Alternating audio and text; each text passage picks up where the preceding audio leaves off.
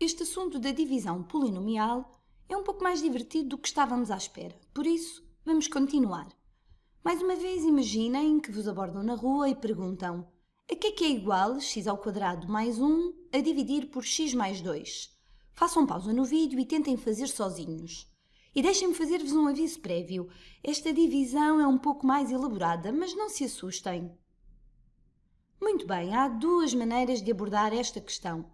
Ou tentamos reescrever o numerador tentando de alguma forma que um dos fatores seja x mais 2, ou podemos fazer o algoritmo da divisão.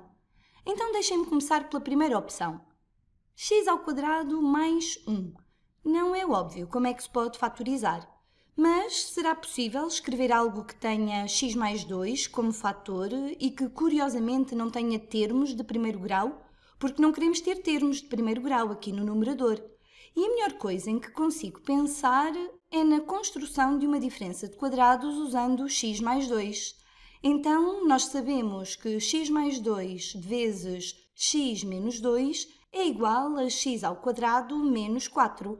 Então, podemos escrever x ao quadrado menos 4 aqui e depois basta adicionar 5 para obtermos este mais 1 aqui. Então, escrevemos x ao quadrado menos 4 e acrescentamos mais 5. Esta expressão e a expressão lá em cima são completamente equivalentes. Mas por que fazer isto? Bem, agora é possível escrever x ao quadrado menos 4 como x mais 2 vezes x menos 2. Então, podemos reescrever toda esta expressão como x mais 2 vezes x menos 2 tudo isto sobre x mais 2 mais 5 mais 5 sobre x mais 2. E agora, desde que x seja diferente de menos 2, é possível dividir o numerador por x mais 2. Estes dois termos cancelam-se e ficamos com x menos 2 mais 5 sobre x mais 2. E vou colocar aquela condição. Se queremos dizer que esta expressão é a mesma que a primeira expressão, isso só é verdade para qualquer valor de x diferente de menos 2. E aqui podemos dizer que ei, x ao quadrado mais 1 a dividir por x mais 2 é igual a x menos 2. E temos um resto de 5. O resto é 5. Agora vamos fazer o mesmo exercício, ou tentar reescrever isto, através do algoritmo da divisão vamos ver que esta abordagem é realmente um pouco mais simples. Portanto, vamos dividir x ao quadrado mais 1 por x mais 2. E agora, ao escrever aqui a expressão do dividendo, é preciso ter muito cuidado com os diferentes lugares de todos os termos consoante os seus graus. Então, x ao quadrado mais 1 não tem termo de primeiro grau. Então, vou escrever x ao quadrado e deixar este espaço aqui que corresponde ao termo de primeiro grau. Esta expressão não tem o termo de primeiro grau. Em seguida, coloco mais um, que é o termo de grau zero, ou termo independente, a dividir por x mais 2. E agora, x vezes o quê para obtermos x ao quadrado?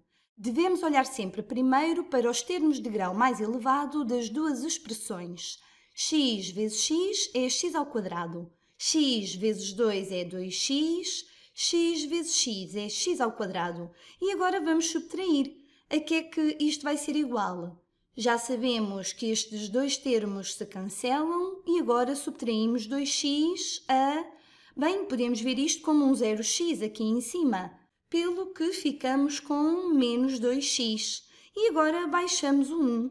x vezes o quê para se obter menos 2x? Menos 2. Menos 2 vezes 2 é menos 4. E menos 2 vezes x é menos 2x. Agora, temos é que ter muito cuidado aqui porque queremos subtrair menos 2x e menos 4 de menos 2x mais 1. E podemos ver isto assim, ou então podemos adicionar o simétrico destes dois termos.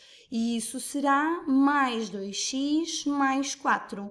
Agora, estes dois termos em x cancelam-se 1 mais 4 é 5 e não há nenhuma forma de ainda dividir este 5 por x mais 2, pelo que dizemos que 5 é o resto, exatamente o que tínhamos aqui antes. Quando fazemos a divisão através do algoritmo de divisão, chegamos a x menos 2 Chegamos a x menos 2 com o resto igual a 5.